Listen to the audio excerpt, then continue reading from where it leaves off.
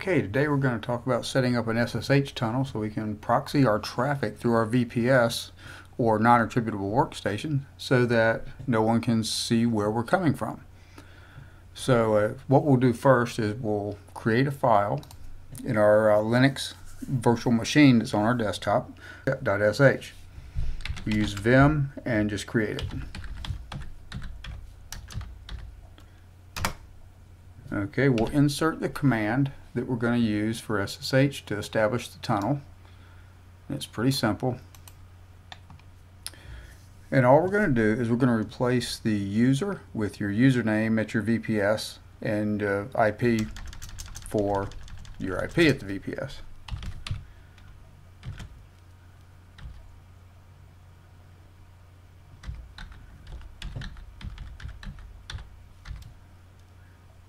Okay.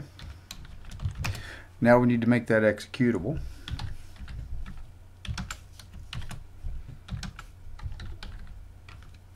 And we just do a change mod plus X on the file. And now if we ls it, you can see it's executable. Alright, so that's the first part. The second part is we need to log into the actual non-attributable workstation and make sure that SSH forwarding is enabled.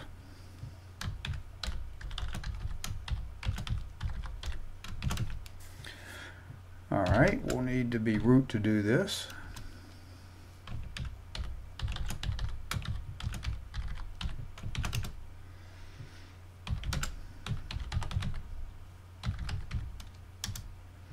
We go into the slash etsy slash ssh directory and the file we want to look at is sshd underscore config. So we'll open that up in an editor. And what we need to do is find uh, allow TCP forwarding. So we hit the slash key, which lets us search.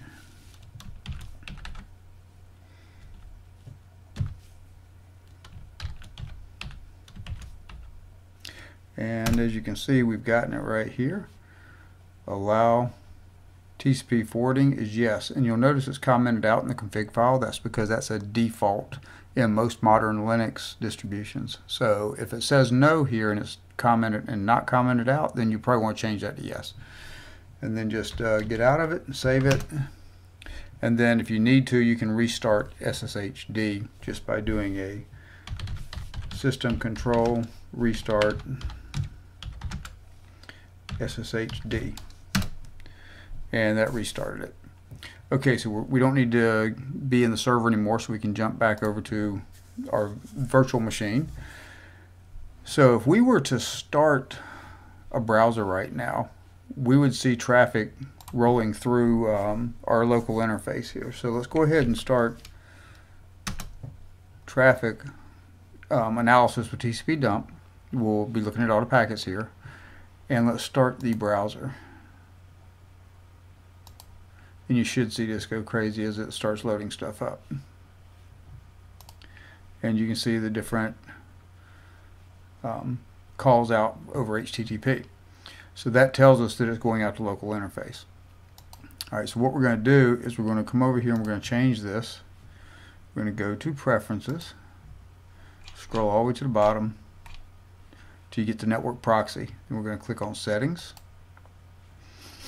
and then we're going to put manual proxy, go to socks host, put in localhost 127.0.0.1 and a port of 8080 and make sure you have SOCKS 5 checked. And then scroll all the way down till you get to this uh, proxy DNS when using SOCKS 5 and check that. This way it'll send our DNS over the proxy as well. And hit OK. Now then, let's go ahead and close the browser. and we can see our traffic stopped. Now let's go up here and let's start the tunnel and all you'll do is dot slash and tunnel. I'm just going to ask you for your password.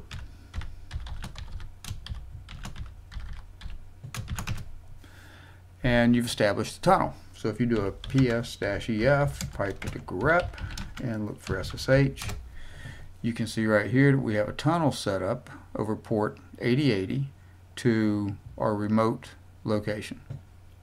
So now if we open up the browser,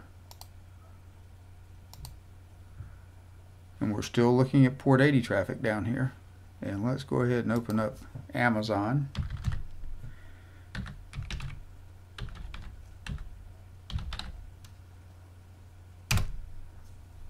And you can see it opened it up just fine and we have no traffic down here. Now then um, if you even go through and look at this with um, port 80 80 which is the local host that we uh, established here you would probably see the stuff going to it if you changed your interface to the local loopback.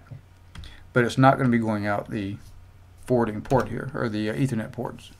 So as we refresh this page, you'll see nothing going out. So all this traffic's being tunneled over SSH, which if we look at that, you will see just a ton of traffic.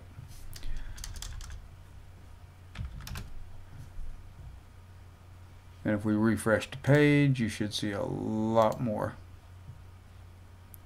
which you do as the page loads. So that's all there is to it. By doing this, we can hide our original IP address at our home location, so if we're researching uh, the bad guys, they can't find us. That's it. If you liked the video, go ahead and uh, click like. If you didn't, click dislike. Either one uh, helps me a lot, just uh, so I can figure out what I can do better. Um, if you want more of this uh, content, go ahead and hit subscribe. Thanks.